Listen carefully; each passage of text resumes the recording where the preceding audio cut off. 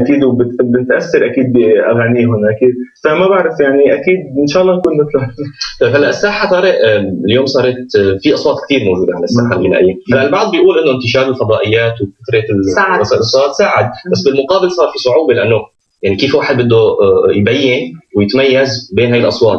فأنت لقدام بتحس إنه شو الشيء المغاير اللي ممكن تقدمه وتتميز فيه كطارق الأطرش يخصصك أنت؟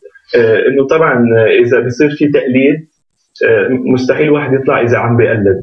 فحلو واحد إنه دائما يعمل شيء خاص فيه يوصل الشيء اللي هو بحسه للناس. فبعتقد إذا كان واحد عم بيوصل شيء صادق فيه. صادق فيه وخاص فيه يعني شيء جديد يعني. تمام لازم دائما إنه يعمل شيء جديد مش شيء موجود منه بالسوق إنه الناس ملين منه تقريبا.